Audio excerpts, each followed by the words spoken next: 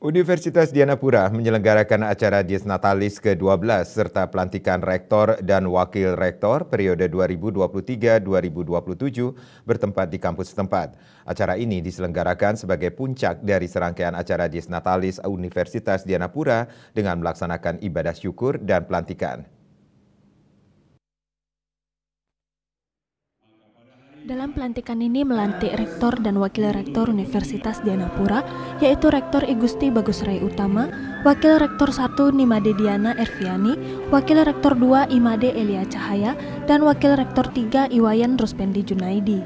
Rektor Igusti Bagus Rai Utama dalam sambutannya mengatakan akan berkomitmen untuk memperkuat dan meningkatkan mutu pendidikan di Undira agar lulusan nantinya siap menghadapi tantangan di dunia kerja yang semakin kompetitif.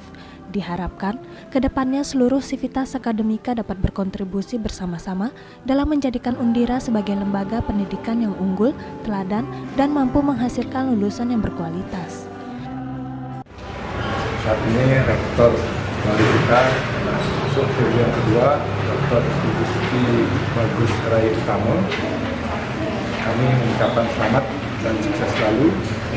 Titip untuk Bapak Rektor baru untuk konsisten berkelanjutan mencerdaskan anak bangsa di mana pada saat ini transformasi pendidikan menguatkan kampus merdeka yang diyakini sangat memberikan kesempatan yang seluas-luasnya terutama untuk mahasiswa bisa merdeka belajar yang merupakan salah satu trik cara pemerintah untuk mempercepat visi pemerintah mencapai Indonesia unggul di tahun 2045. Hari ini kita merayakan uh, puncak di Natalis yang ke-12 dan juga dirangkai dengan pelantikan rektor periode kedua.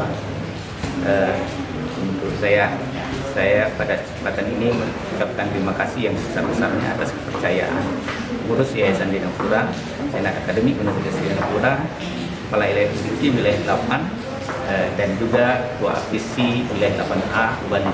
Kiranya uh, kepercayaan ini juga uh, kami boleh uh, sampaikan kepada pemerintah, uh, para stakeholder, masyarakat, uh, para orang tua dan para mahasiswa yang ada di rumah yang akan menyaksikan uh, puncak di Natalis hari ini secara uh, online atau Zoom. Uh, kami mohon dukungan yang sebesar-besarnya sehingga saya sebagai pimpinan baru ini boleh membawa Universitas Jayapura untuk menjadikan visi teladan keunggulan tahun 2048 setelah tiga tahun setelah generasi emas yang dicanangkan oleh pemerintah.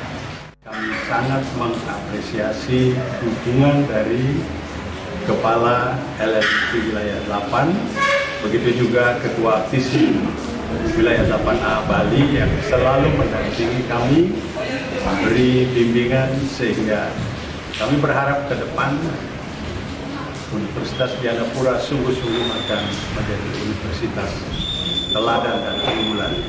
Tuhan kiranya memberkati. Terima kasih. Rektor Universitas Mahasiswa Pasar sekaligus juga selaku Ketua Apisi Wilayah 8 Bali mengucapkan selamat pada Universitas Dianapura biasa kali ke-12 serta pelantikan rektor baru periode kedua untuk Pak Dr. Bagus Utama yang mana beliau sudah sangat berhasil mengantarkan Dianapura menjadi universitas yang ya, maju, yang siap untuk berkompetisi untuk mencapai kemajuan universitas atau pendidikan tinggi di Bali.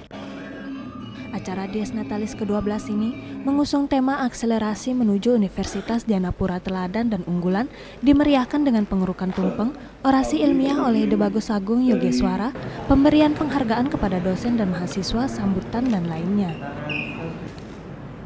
Gung Istri Bali TV